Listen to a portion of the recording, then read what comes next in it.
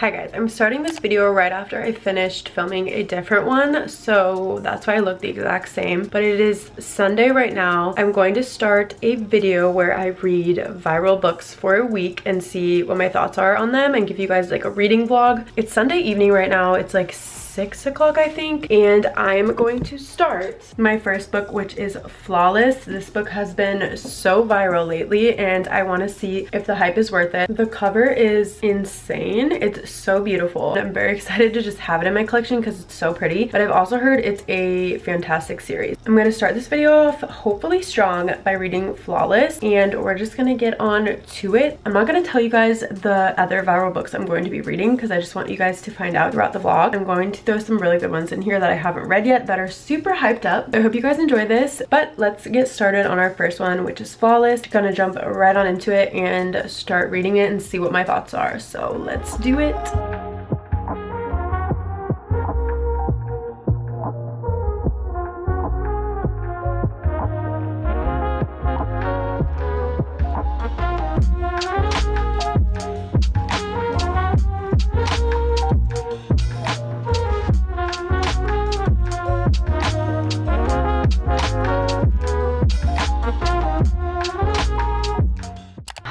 It's now monday. It's almost six o'clock. I've had a whole day of work but i'm back home now. I did have a chance to read quite a bit today so i started yesterday. I only got about 20 pages in so today i knocked a huge chunk out but i'm on page 146 so i have like a big chunk out of the way. My goal is to have this book done by tomorrow so i need to knock out a good bit tonight and then hopefully tomorrow i can finish it all up. But i just wanted to give you an update on what my thoughts are so far. I am so obsessed with this book. If you know me, you know I am not a country girl at all. Like I don't like listening to country music. I'm just not like a country girl. So I was a little nervous going into this with this being like a country theme, but I actually love it so much. So you have Summer and Rhett. Rhett is the cowboy, bull riding golden boy, and he ends up getting in trouble with sponsorships right off the bat in the beginning of the book. And then you have Summer, who's the daughter of basically the guy that owns the company that does does all of Rhett's sponsorships. So she works for the company and she ends up having to basically like babysit Rhett, but obviously he's a grown man. So it's not ideal at first. He's kind of upset that she has to be around him all the time and she's obviously not like loving it either. But I'm getting to the point where they're starting to get deeper with each other. It's mostly him saying that he can stop thinking about her. I honestly love the setting. Even though I'm not a country person, I love the setting. I don't know, it just puts you in such a different space than most books do because usually it's like a small town or a beach town or city or something along those lines but you never really get a book that's like in the country setting and this is in like the country in Canada. It's all about bull riding so obviously like cowboy style but I'm gonna read more tonight and see how much I can get through and then I'll update you guys tomorrow how it's going but so far so good. I really like Flawless. I'm definitely gonna pick up the other books in the Chestnut Spring series because I really love this one so far and the covers are just stunning so I have to add the rest to my collection. I'm excited to keep reading this. We'll see how their relationship develops. That's the update.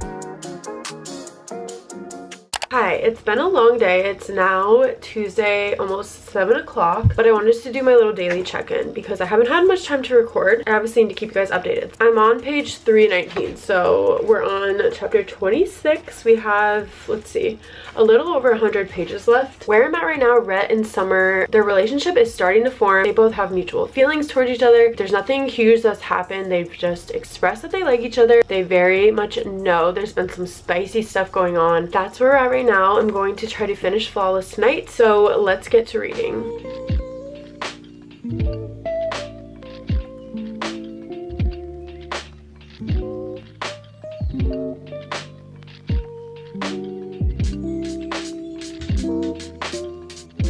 Hi guys, it is now Wednesday. It's 5.30. I just got back from work and I wanted to give some updates. I finished Flawless last night. I loved it so much. I'll give you like a full rundown and review at the end of the video and my rating and all that. All you need to know right now is I loved it so much. I already ordered the two other books in the Chestnut Spring series because I loved it so much. So we started out very strong in this reading viral books for a week. I wanted to show you the book that I'm moving on to that I actually already moved on to. It's Twisted Love Love. Again, like seen this book and series absolutely everywhere. I've had Twisted Love for a little bit, but I haven't obviously read it yet. I've heard the other books in this series are a lot better than the first one. So we'll see how I like this one. I'm about 66 pages into this one right now. I don't have too many opinions on it yet, but basically you have Ava who is Josh's younger sister. She's like the main character. And then you have Alex who is Josh's best friend. They're in college. Josh ends up going abroad. So he asks Alex, his best friend, to kind of look over Ava. They're not very thrilled about it because Ava has never been close with Alex, even though he's been around for a long time because it's her brother's best friend. They just don't really get along. So they're both not very thrilled about it, but he ends up moving into Josh's house while he's abroad. So he lives right next to Ava. He's watching over her very closely, which she's not loving at the moment. So that's kind of all I've gotten to so far. Kind of meh right now. I don't really feel a certain way about it yet. So we'll see by tomorrow I'll have a stronger opinion on it. But I am reading Twisted Love is my second book in this video. So I'm excited to keep going, see where it takes us and see how the characters develop. But I just wanted to check in with you guys. I'm going to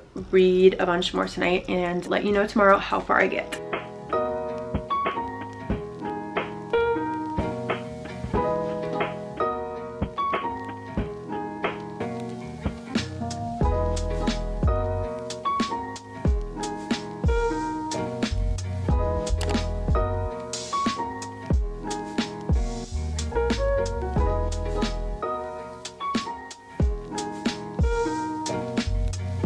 It's now Friday. I like did not film yesterday because I had a lot going on and I just didn't have that much time. I'm still trekking through Twisted Love. Definitely gonna get this one done today though. So we can move on to our third book. Ignore my appearance. I self-tanned last night. I haven't washed it off yet, but I'm currently on page 202 of Twisted Love. So I have a little over 100 pages left. I think it's been a hard book for me to get through because I'm just really not that into it. It's just like not really the book for me. But basically basically Alex and Ava are like together now. I just don't think I like Alex's character. He's super extreme it feels like and very like dominant which I don't love. He's like only nice to Ava and kind of rude to everyone else around him. So I just haven't loved his character which has made it hard to get into this story. But we do find out that he has like a deep dark secret and she does as well. So I'm not gonna give those away because they are spoilers but they're now like officially a couple. They have haven't told her brother yet because he's not home yet. But yeah, besides that, I feel like there's just like not that much going on in this book. But I'm going to sit here and finish the rest of this book so I can move on to the third book because I'm very, very excited about that. And I feel like you guys will be too. But yeah, I'm going to sit here, finish Twisted Love, and then I will show you guys the third and final viral book that I'm going to be reading this week.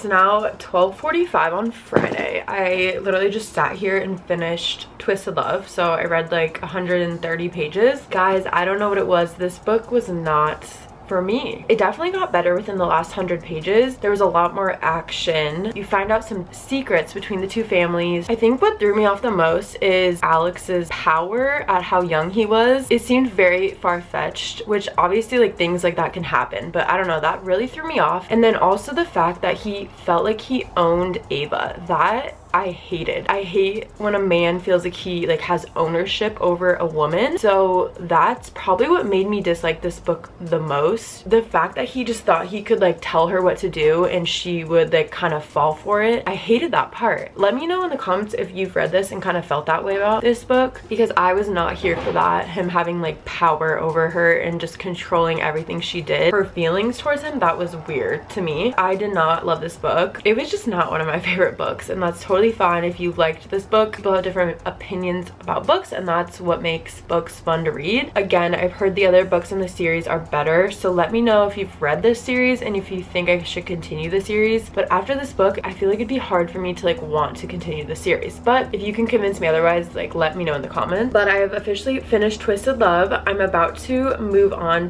to the last and final book of this video later on this afternoon. So excited to show you guys what it is and we will continue continue on with the final book of this video. It is now 4.45. It's still Friday, but I'm in the same attire and I have still not showered, which I'm sorry is so gross. I've basically been laying around all day because I have the day off from work and reading obviously and then I had to go drop my car off and then my girlfriend and I finished watching Love is Blind finale which I was shocked by because just some of the people that I expected to get married didn't and some of the others I expected to not get married did so I was very shocked by that and I was crying but we are back to reading now also after reading Flawless which you obviously saw me read in this vlog I immediately ordered Heartless and Powerless and I got them in the mail today and I'm so excited because they're so beautiful these are probably the most stunning covers I have ever seen in my life so I'm so excited to have them all now we are finally moving on to our last book of this reading viral books for a week. I'm a little nervous for this one because this is like one of the most hyped books I've ever seen in my life. I've heard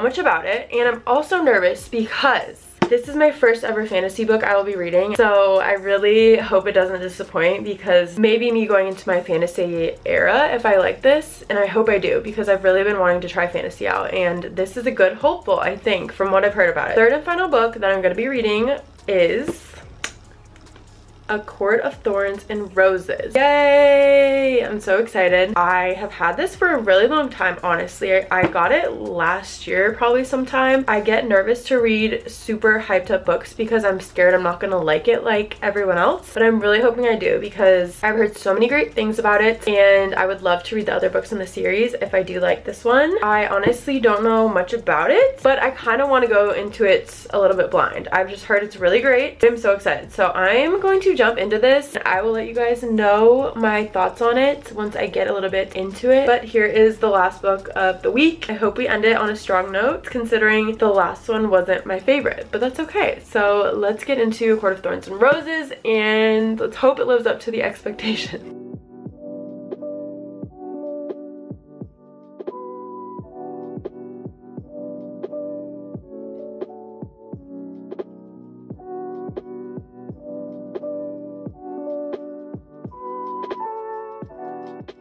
have read 46 pages of Court of Thorns and Roses. I'm basically just kind of finding out about the worlds right now. I have to pay really close attention because I've never read a fantasy book before so it's all kind of new and confusing to me but I feel like I'm getting it pretty well which is good because I was scared I wasn't going to understand and then I would have been lost the whole book but I feel like I've got it down pretty well so far. Basically we've met Feyre which I literally thought her name was Fair at the beginning and I also thought she was a boy. But then I discovered her name is Feyre because they show how to pronounce it and she's a girl. So that part kind of tripped me up in the beginning but she's a human living in poverty with her family. There's these like two worlds of Prythian, I think that's how you pronounce it. I'm not really sure. It's all a bit confusing. So Feyre basically goes to hunt for her family because they are super poor, have no food. So she goes to hunt deer and she comes across this wolf that she ends up killing so she is able to kill the deer as well for food. But the wolf ends up being like a fairy which you're not supposed to kill. So basically this other beast from the Prythian, that world, comes and says that he's going to take a life for a life because Feyre killed the wolf. Feyre basically has to go with this beast to Prythian. That's where I'm at right now, they're crossing into the other world of Prythian and doesn't know if it's gonna be good or bad, if she's gonna be like held captive and basically be a prisoner or if it's gonna be a good thing. So that's where I'm at right now. I'm still just learning the whole world and the characters, but I find it pretty interesting right now. I just need to like keep it up in my head and keep things in line and I think we'll be good. But I'm on chapter six, so I'm gonna keep cooking through this book and then I'll get back to you guys. But I just wanted to give you a little update of me getting into my first fantasy book, but it's going pretty well so far. So I'm happy about that and I'm gonna keep reading.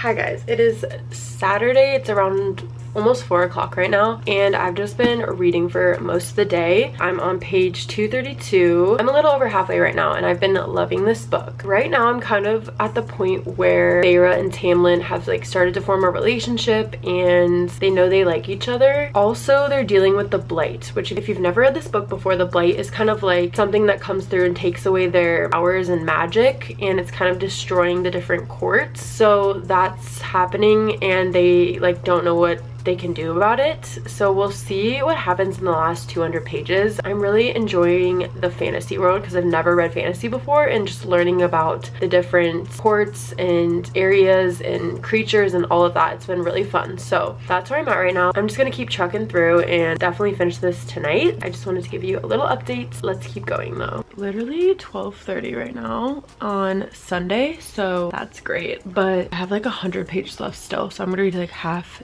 tonight and then half tomorrow morning so I can finish this for you guys. But I really love this book. It's been easy to read just because I'm so interested in it. There's been a lot that's happened since I last updated you. Feyre basically ends up falling in love with Tamlin and he sends her back to the human world to protect her for reasons I don't want to spoil. But she ends up finding out why this curse is still on Tamlin in the court and she wants to basically change it because she is able to do that. So she dangerously goes back to Prythian and is basically kind of in this battle with their quote unquote queen. But there's a lot of violence going on right now, which I hate. I like hate violence. So reading about it is kind of rough. But besides that, like it's so entertaining and it's so different obviously from any other genre I've ever read. So I love that part of it. So I'm very interested to see what happens in this last hundred pages. I'm nervous, like my heart's beating while I read this right now, but it's going well. I'm very excited to see what happens. It is now Sunday, literally the day I'm uploading this. I stayed up till 2 last night reading, so I'm a little tired, but it's so good. I love this book like so, so much. I have like 17 pages left, I think, so I'm going to finish this, see how it ends. Hopefully good. We're gonna finish ACOTAR right now. I'm excited.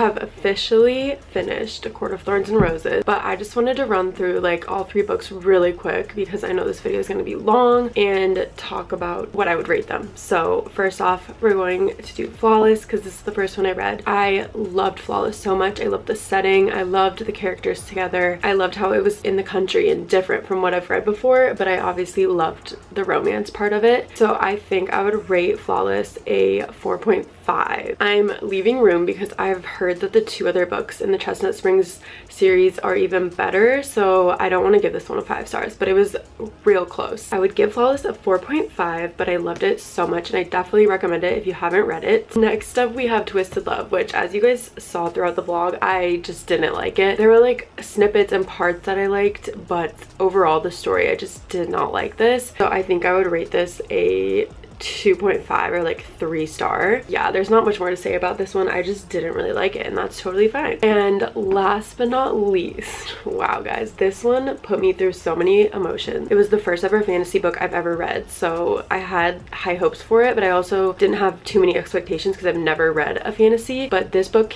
came through. I loved every bit of this book. I loved Feyre, I loved Rhysand at the end, I loved Tamlin, and this world just had my heart, so I would rate A Court of Thorns and Roses, five star. I loved it so much and I'm so excited to get more into fantasy now that I have one under my belt. I'm excited to read the other books in this series because this one was so good and I fell in love with the characters and the story. Yeah, five stars for A Court of Thorns and Roses. It was chef's kiss. But that was the end of my reading vlog. I hope you guys enjoyed this video. It's so much fun to make these videos and i put in a lot of work to them so i hope you guys enjoyed it. Thank you so much for watching. I love you guys with my whole heart and i will see you in my next video